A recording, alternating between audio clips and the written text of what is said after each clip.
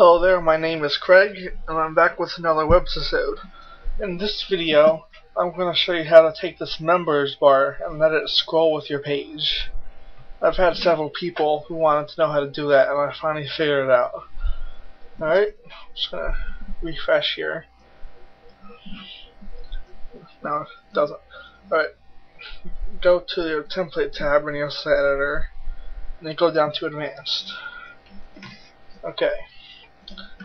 Now right click the members bar and inspect element. And here here's the name of it. Copy that into here. I'm I'm using the numbers bar because it's the ID, so just keep that in mind. Alright. Now to make it scroll with your page, type in position and fixed and you also add a important tag with an uh, exclamation mark and important. And publish it and refresh and it should automatically scroll through page. Now, very easy and that's it for this webisode. Hope you enjoyed it. Feel free to post any comments or questions below.